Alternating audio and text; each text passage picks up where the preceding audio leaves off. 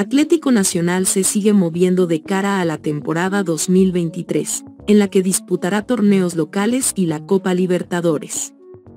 Pese a la situación entre hinchas y dirigentes de Nacional, que definitivamente no pasa por su mejor momento, debido al alto costo de los abonos para 2023, los pocos fichajes anunciados y la cuestionable calidad de estos refuerzos.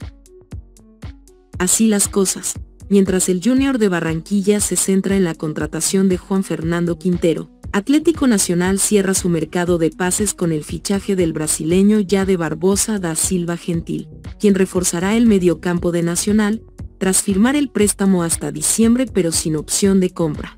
Soy Jader, ya estoy na casa y muy feliz de estar el mayor club de Colombia. Por otro lado, tres ex-verdolagas que salieron recientemente de Nacional ya habrían encontrado equipo para este 2023. Se trata de los guardametas Aldair Quintana y Sebastián Guerra, y del referente Giovanni Moreno. Oficial, Sebastián Guerra es el nuevo portero del Atlanta United. Llega libre tras haber terminado con su contrato en Atlético Nacional.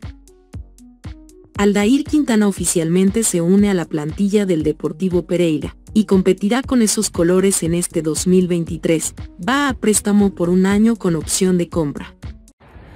Bueno, hola a todos, les habla Aldair Quintana, eh, estoy muy feliz de poder llegar al campeón de Colombia, esperamos que tanto ustedes, la hinchada, como nosotros los jugadores sigamos logrando cosas muy importantes. Un abrazo y los esperamos acá en el Hernán. Averiguando, me contaron que es cierto el contacto de Dimas y a Giovanni Moreno, pero no hay nada avanzado ni le han hecho alguna oferta. Tampoco hay positivismo. El poderoso sigue en la búsqueda de un nuevo jugador en ataque que se acomode las pretensiones. Gio Moreno, Giovanni Moreno, juegue con el Deportivo Independiente Medellín. Uno, cierto, tratativa en curso. Ay, ay, ay y en un porcentaje cómo está la cosa a hoy. 70 sí, 30 no. El jugador quiere volver. Medellín no ve con malos ojos tener una zurda de esa calidad. La cuestión son, como siempre, los valores, pero pues voluntad de las dos partes hay. Asimismo, otro de los jugadores que estaban a préstamo está por volver al verde de Antioquia. Se trata de Gianfranco Peña, delantero que estaba cedido al cuadro escarlata hasta junio de este año. El delantero Gianfranco Peña no seguirá con el América y regresa a Atlético Nacional para definir su futuro.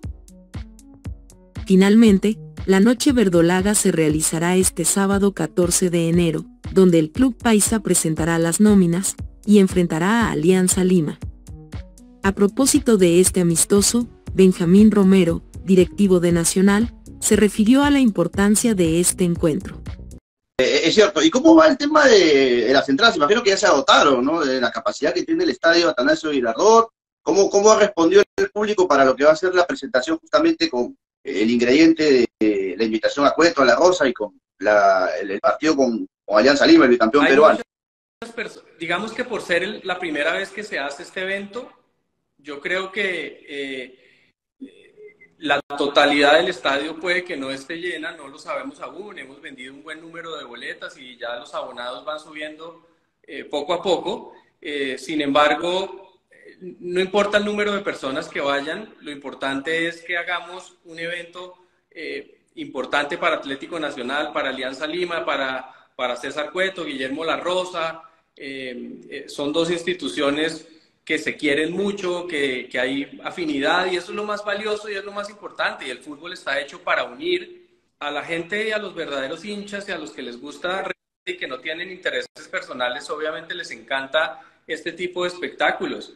Pero a mí me gustaría centrarme en las cosas buenas. Yo creo que, que la, la, la reacción va a ser muy buena se me olvidaba otro jugador que también pasó por, porque está actualmente en la plantilla, hay dos jugadores actuales en la plantilla de, Alianza Lima, Hernán Barcos, que, ha dejado una muy buena huella en Nacional, y el rifle Andrade. Entonces, digamos que hay muchos factores para que el tema sea muy bien visto y, y lo más importante de todo esto es que el fútbol peruano y el fútbol colombiano tienen muchas cosas en común tienen eh, jugadores, tienen una historia, tienen una mística y una esencia dentro del, dentro del juego y dentro del fútbol que va a ser muy buena y muy, y muy importante.